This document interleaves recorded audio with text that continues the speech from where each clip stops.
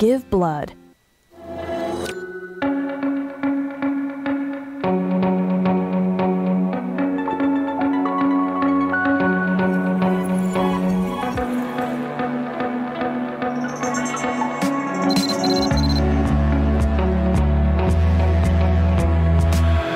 All right, 25 minutes before 10 o'clock. Thank you for tuning in. You ladies have not always been treated too well, Robin. Nope.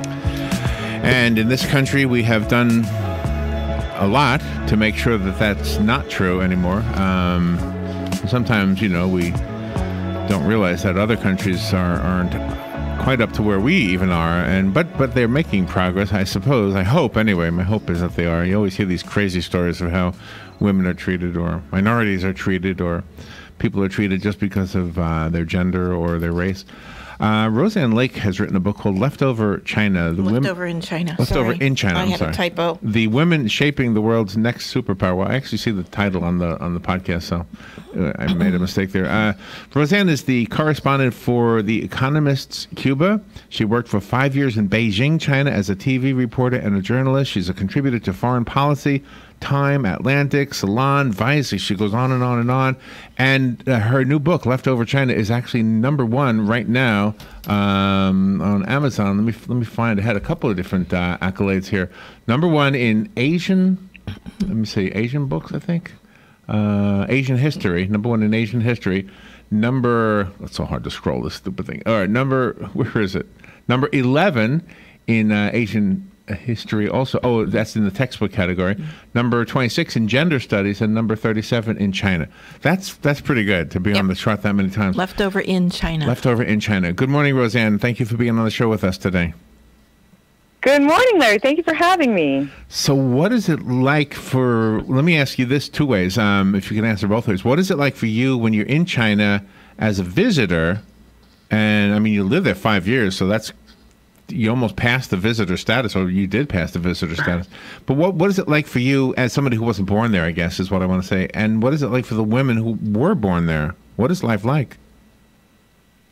Well, when you say I passed the visitor status, I'd like to think that at heart I'm just an old Beijing resident, a Lao Beijing, and then a lot of people kind of tease me and say that I am, um, because it's really a place that I I, I felt really at home there. Um, it was a great place to live, and one of the most exciting things about it was, yeah, it was. I mean, the the genesis of this book came from the women that I describe in it, right? These protagonists, these women who are left over if they're not married by age 27, and they were great sources for me, and and our conversations were essentially an exchange because we were, I mean, they were 23 and 24 when I met them. We were all the same age. And um, instead of me just being the journalist that asks them questions like, why is it like this? Why are you left over? It was an exchange. I mean, I had no intention of writing a book when I got there. It was really just, you know, these conversations that kept coming up at work. Um, I was working at a television station, and the first women I met who were left over were my colleagues. Um, and it was just an exchange. They would ask, "What's life like in the U.S.? Is New York really like Sex in the City?" They were curious. They wanted to know, and so it started off as an exchange. And being a foreigner, I think it was a bit easier for them to talk to me about such personal issues as you know this Right, idea, like right. uh, dating, and because these are things that you know China's a collectivist culture, and you don't air too much dirty laundry. So if you're fielding a lot of pressure from your family, it's not something you're maybe going to talk about with your friends. But if your friend is foreign and comes from a different context, it's a little bit easier. So uh, it, it seems like it was cathartic for some of them to speak with me. And of course, there was an exchange. They could see how things were in other places. Um, and being a foreigner, I think, actually worked to my advantage. And of course, when you do something silly, um, you can always say, oh, well, I'm a foreigner. What do I know? And you can kind of just Yeah, pass it yeah, off that yeah, way as well. yeah. That's helpful. But uh, education wasn't lost on the uh, uh, girls in China. If the families didn't have the sons they were hoping for, they at least made sure that the girls had a super education.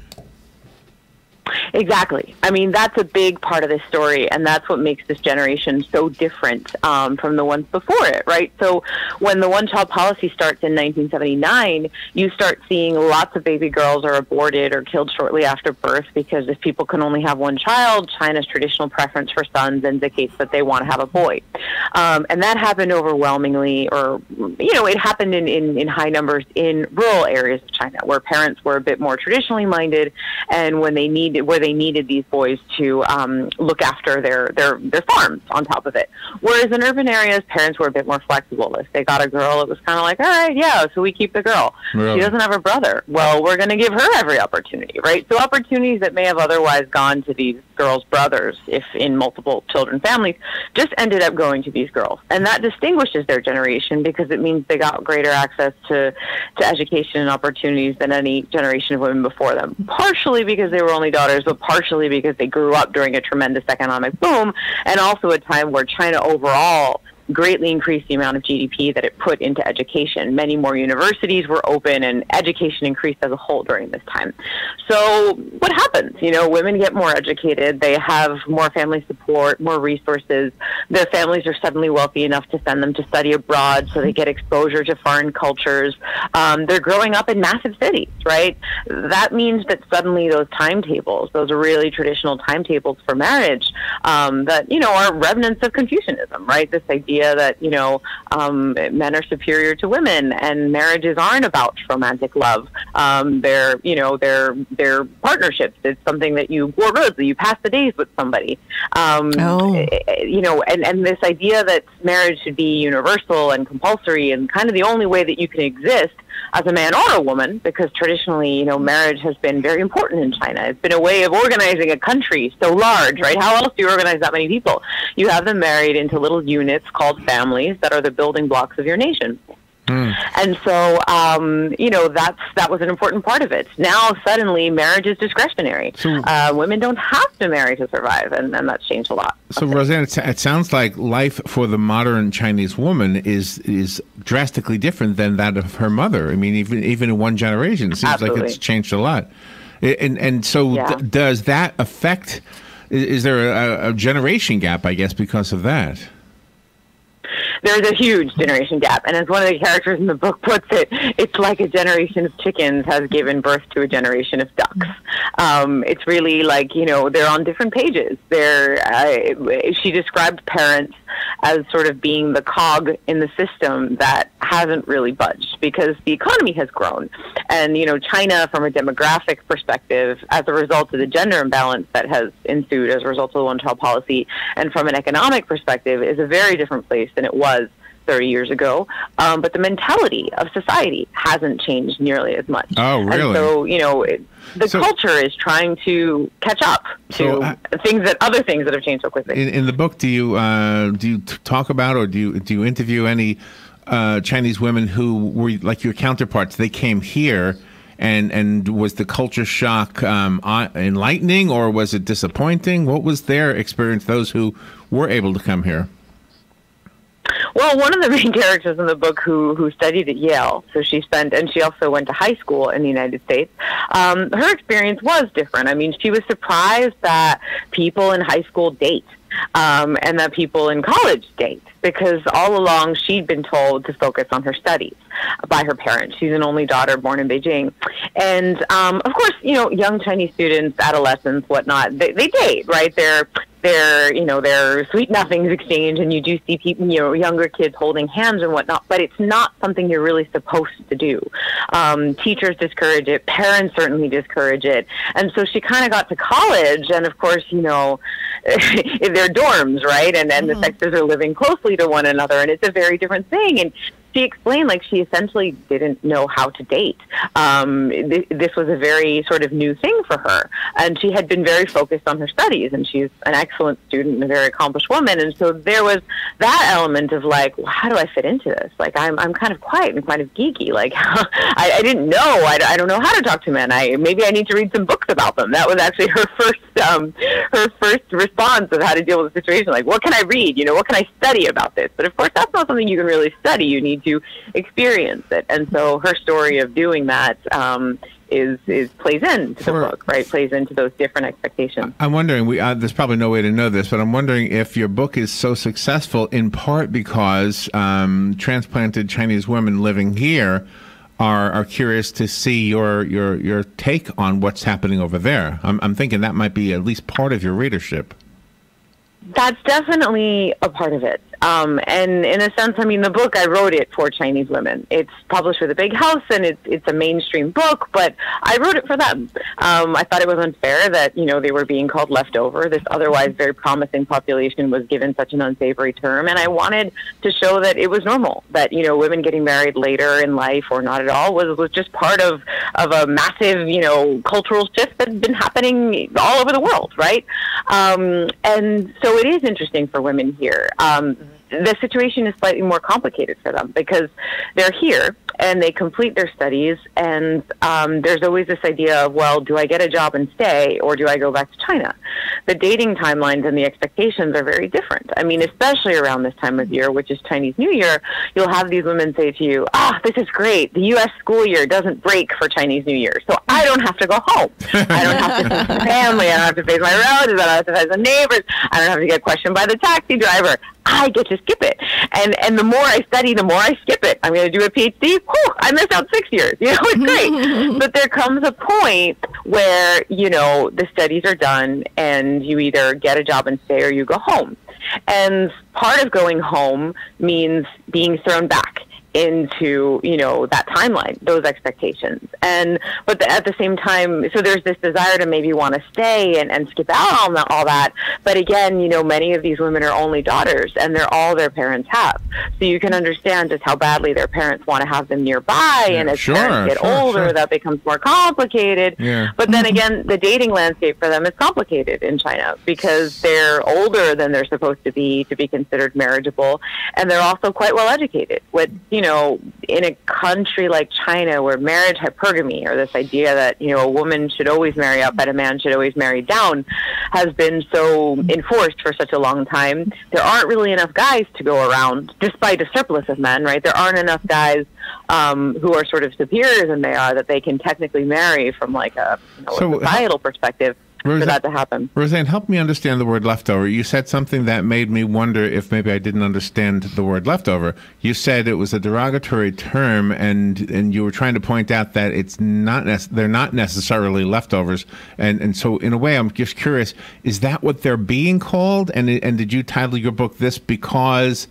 You're trying to show that that term is, is kind of unnecessary or improper or uh, offensive, maybe. It's the irony of it. Yeah, I'm trying to show the irony of it. I mean, of course, it's offensive to call a woman left over at any age is offensive, but especially you know at the tender age of 27, if she's not married, is, is kind of ridiculous. But these women are referred to as shengnu, uh, which translates to leftover women. And just to give you an idea of the context, the prefix sheng is the same as in sheng cai, which means leftover food. So the association really is a very unpalatable one. And um, you know, the book is called this because it's it's yeah, it's meant to underscore right. the you know the it. absurdity of a word. That Yeah. refers to a of a you know It- uh, it a is a- promising population of It women. is. It is absurd. Is it any of our business?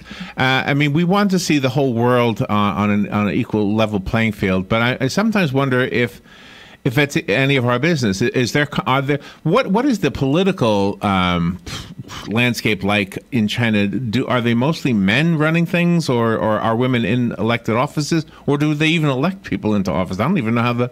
The, the process might be. No, yeah. all, all we hear about is the at the national level. We don't hear about the mayors and and, Mm-hmm. the, and the city council if there is such a thing.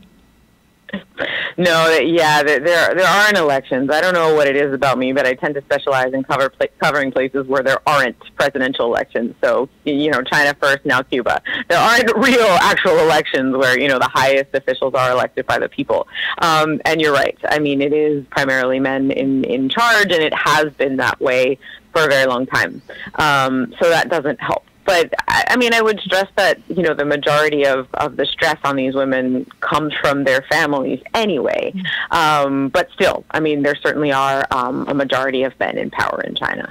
Are all men uh, are are all boys highly educated in China like the uh, girls are, or are there some that they really don't go through any education process at all as they're farmers and live on the outskirts of the urban?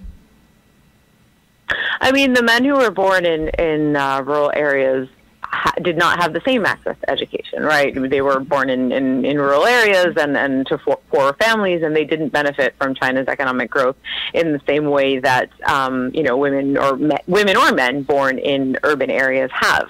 Um, and as a result of being boys, you know, they were also kind of stuck on their family farms because it was their job to look after their parents. So they didn't have that same mobility. I mean, if a, gr- a girl were born into this area, because it's kind of expected that she she could marry up, she may have gone and worked as a waitress or a masseuse or a hostess at a you know a karaoke parlor and met someone there that she could marry up into, and then into a bigger family, and you know, gotten herself out of that rural area. Right, but the guys, as guys, were a bit more stuck, um, and so that's another huge population of, of leftovers that China is contending with. They don't refer to these men, you know, these rural bachelors as, as, as leftover. They call them guanggun, which actually means bare branches.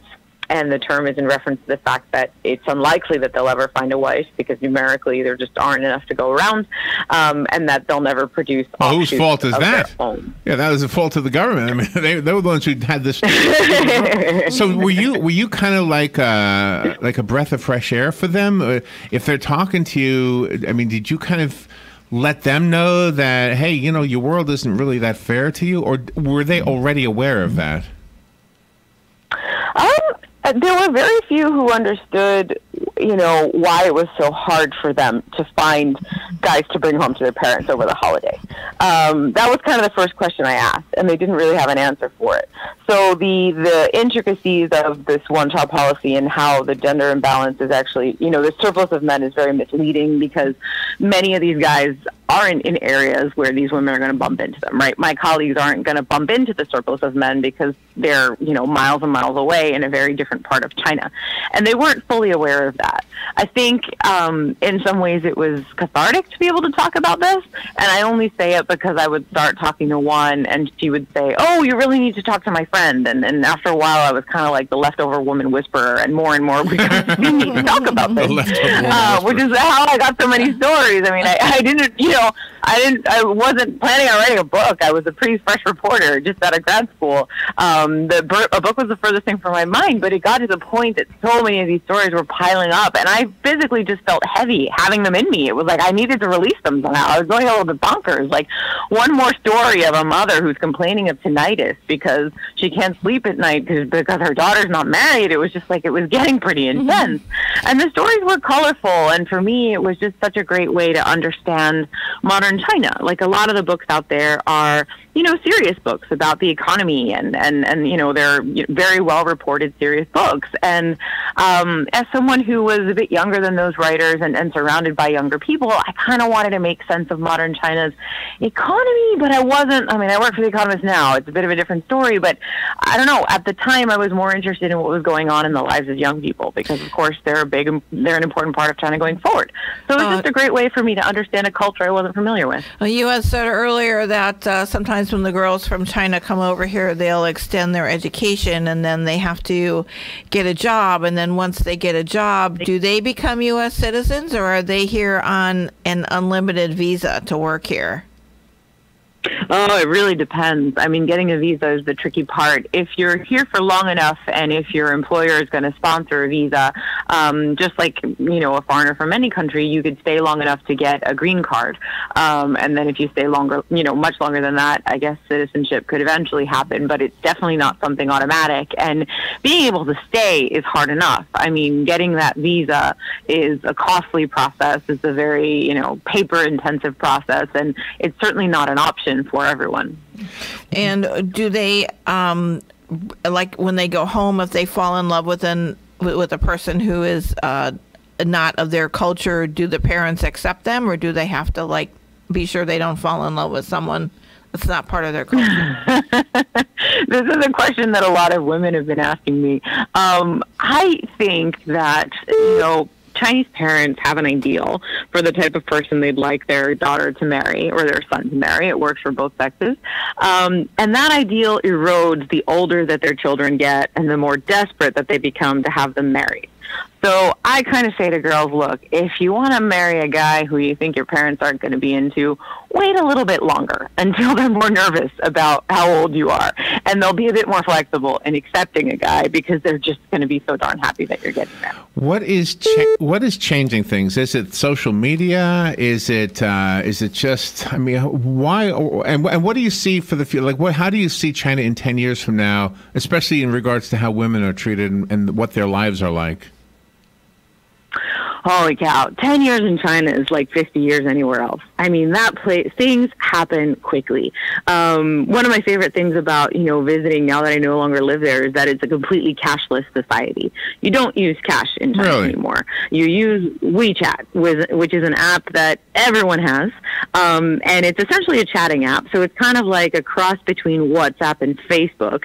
And I say Facebook because it's got this its own version of a wall that's called your moments and you can post things that are happening. But fundamentally it's a chat app.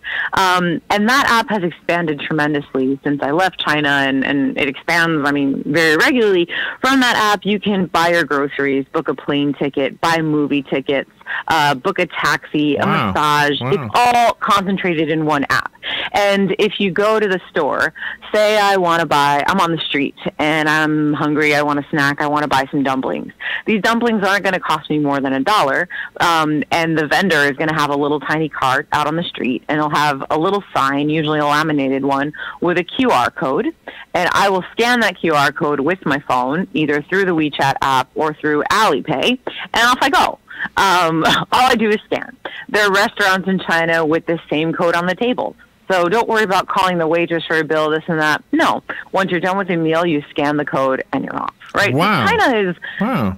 yeah, it's it, these things don't really happen in too many places. And I think in- few people who have been to China. In go a, ahead. in a way, it sounds like they are ahead of us in that regard, and we are ahead of them as far as you know treating people fairly. And we're not quite there yet. I think we still have some tweaking to do, but it seems We like do. it seems like it seems like that's our area, and their area seems to be technology.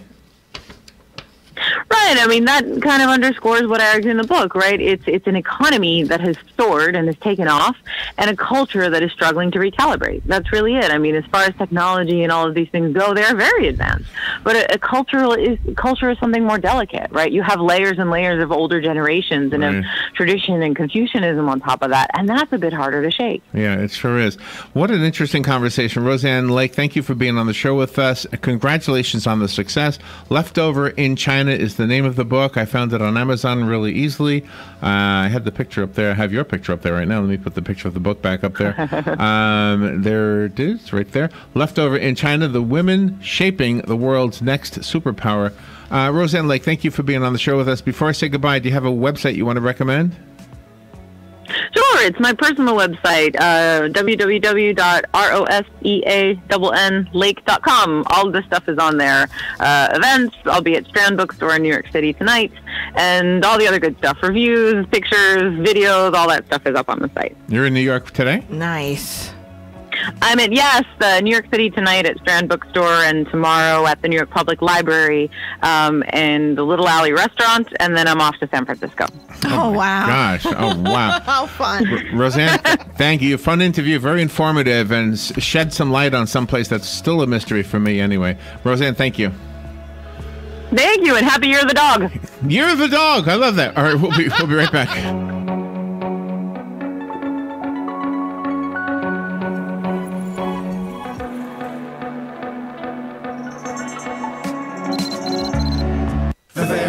Is Captain T's upholstery. Is that couch cushion sinking lower every time you sit in it? Does your boat look better with the cover on? Has your car's interior seen its better